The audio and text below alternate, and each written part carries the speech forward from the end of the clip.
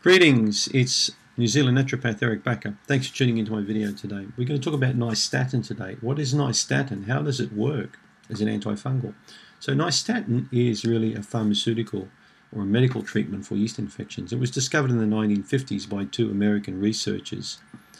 Uh, interesting that like a lot of antifungals and antibacterial uh, drugs, they're sourced from bacteria. That's how they originally, uh, you know, experiments are made on bacteria. And a particular Streptomyces uh, bacteria, uh, Streptomyces noursei, was isolated in 1950. And in 1954, these two ladies, uh, lady researchers, developed uh, this drug called nystatin, and it was named after the, the New York State uh, laboratory, you know, where this, this drug was originally isolated and then later developed. So I'm not a big fan of nystatin for many different reasons. Dr. William Crook, who wrote The Yeast Connection in the 1980s, was a fan of nystatin.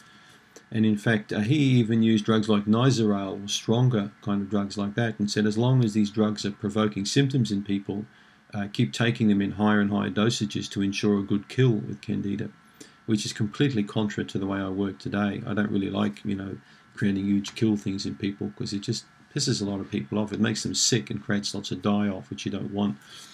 So Candida works by uh, nystatin works basically by disrupting the cell membrane of the of the yeast. So it opens up and interferes with the cell membrane, allows the contents to spill out, and the immune system can then attack it. It's very effective. There's no doubt about it. It is effective, and it works on various Candida strains.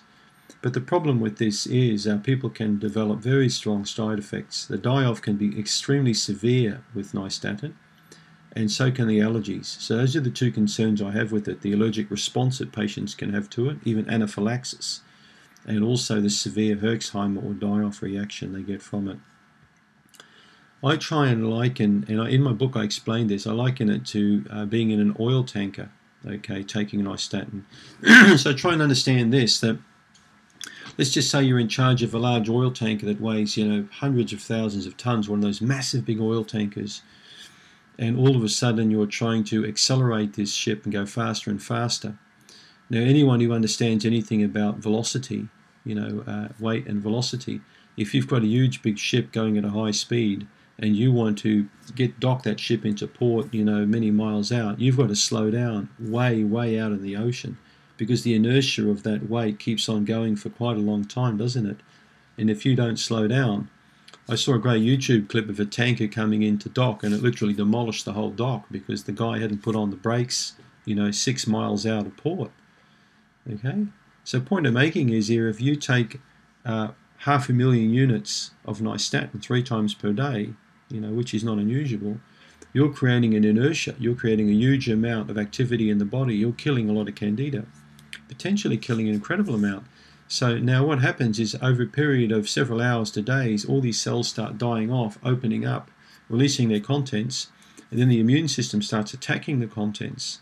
Okay, so this is going to create a reaction.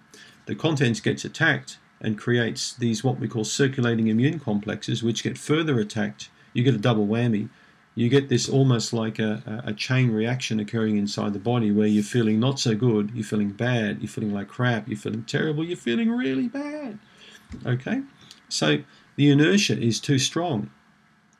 This happens a lot with antifungals in general. People often take too much too soon. Go slowly when you take an antifungal, especially a powerful one like nystatin, all right? It's too strong uh, for many people to take in large doses for a short period of time.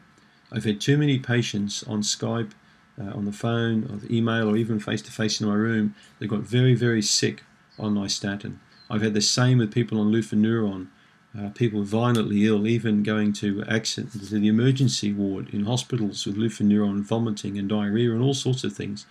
Now, all the people uh, who, who peddle these products will say to the contrary. But I see them in my room and I see them on Skype and I talk to them. They're not going to come out there and, and put their face in a, in a YouTube video like I am and talk about their experiences. A lot of people are embarrassed to talk about these things. But they do get you know very sick from these products. So be careful with nystatin. It's not my favorite uh, drug, drug of choice to use. Okay.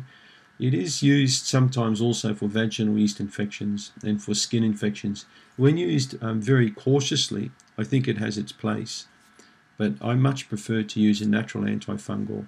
I think you're going to get a lot better result with that and more broad spectrum result than you are with nystatin, which purely targets yeasts. Taking a product which only targets yeasts is a stupid thing to do when you've got candida. You want to take something that targets bacteria, fungi, and yeasts, okay? Because people with candida have always got that combination of things. So I hope that answers your uh, question about nystatin. Thanks for tuning in.